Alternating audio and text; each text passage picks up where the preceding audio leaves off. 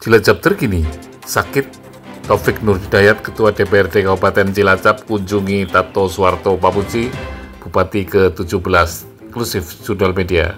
Ketua DPRD Kabupaten Cilacap, Taufik Nur Hidayat, kunjungi kediaman Bupati ke-17 Haji Tato Suwarto Pamuji, hari Rabu 8 Agustus 2024. Taufik Nur Hidayat, mantan Wakil Bupati Cilacap, menjenguk Bupati ke-17 Haji Tato Suwarto Pamuji yang sakit dikarenakan kecapean. Taufik Nur Hidayat didampingi ajudan menghampiri kediaman Bupati ke-17 Haji Tato Suwarto Pamuji untuk menjenguk secara langsung kondisi Bupati ke-17 Haji Tato Suwarto Pamuji. Menjelang Pilkada tahun 2024, kunjungan tokoh partai politik di Kabupaten Cilacap menjadi hitungan yang sangat berharga eksklusif jurnal media. Ya, Assalamualaikum Pak Ketua. Waalaikumsalam. Ya, ini uh, di kediaman Pak Tato malam-malam gimana Pak? Iya, saya kemarin mendapatkan informasi sore apa ya Pak, udah malam ya, Pak Toto gerak. Terus saya langsung tanya gimana, di mana? Tadi karena kita repot sampai malam di kantor, jadi ini kita langsung ke sini, saya langsung ke sini ternyata perkiraan dan informasi sama. Papa itu kan kalau olahraga disiplin ya. Nah, tapi ternyata saya baru tahu. Ini lagi ada hobi juga lihat olimpiade. Nah jadi mungkin kurang berbanding loh antara olahraga yang membutuhkan fisik yang istilahnya harus kasih ya harus itu. Ini Pak Tato tapi ada kesenangan yang hari ini menyaksikan olimpiade. Jadi tadi oh kurang istirahat. Tapi ya. mudah-mudahan ini sudah.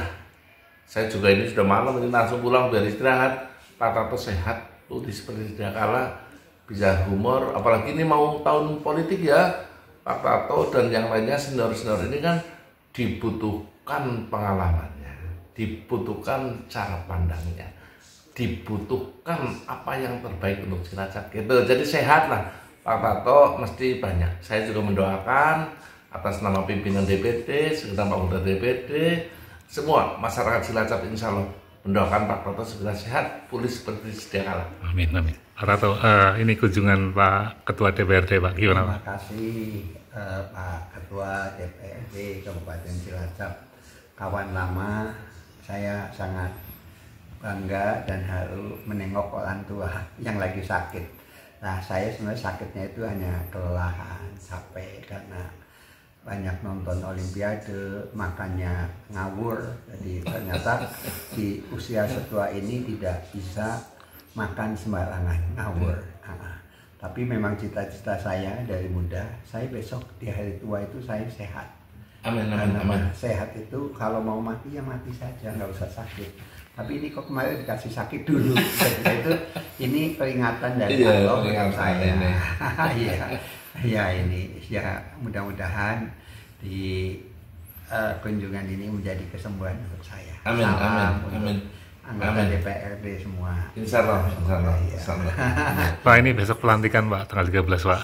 Pelantikan apa sih? DPRD. Oh saya atas nama pribadi menyampaikan uh, selamat selamat pelantikan besok di tanggal 13. Iya kalau diundang ya datang. Insya Allah. Kalau enggak ya datang ya, ya karena kayak nostalgia aja lah. Ya, saya nanti akan menyampaikan ke Pak Sekpan para pemimpin baik bupati, pimpinan DPD semua kita undang karena pandangan, pengalaman, pitutur semuanya dibutuhkan untuk generasi selanjutnya.